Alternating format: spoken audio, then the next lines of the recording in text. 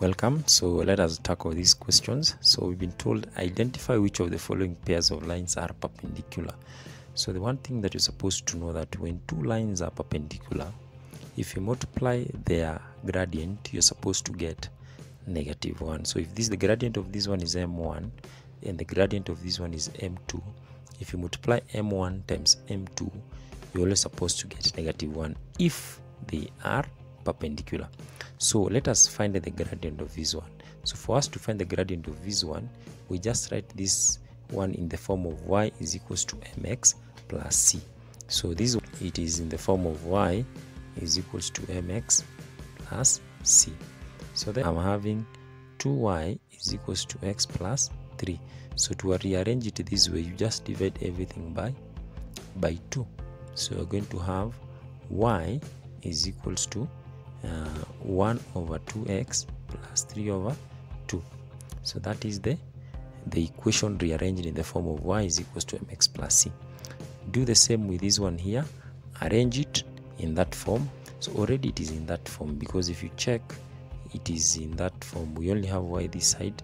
Then we start by negative 2x then followed by 8 which is the c.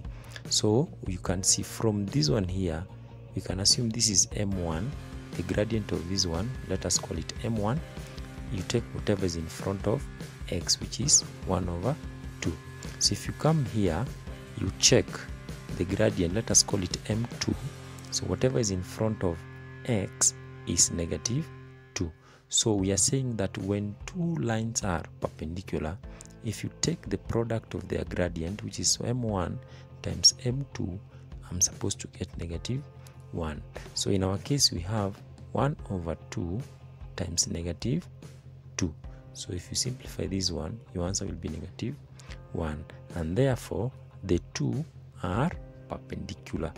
The two the two equations are perpendicular.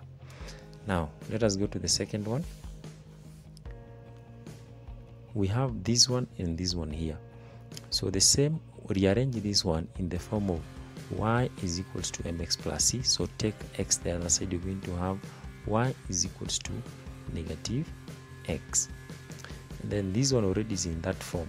So here you can easily pick the gradient. The gradient is negative 1 so when you come here the gradient is which is m2 let us call it m2 is 1 so this is m1 is negative. Whatever is in front of x that is the gradient. So the same here whatever is in front of x is 1 so if you take negative 1 times negative negative 1 times 1 we get is negative 1 so therefore these two are perpendicular.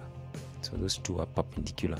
So i want you to try this one and see if these two are perpendicular. If you multiply and get the gradient is negative 1 then you have shown that the two are perpendicular. If they are not if the product is not negative 1 then the two are not perpendicular. So thank you. Let us meet in the next lesson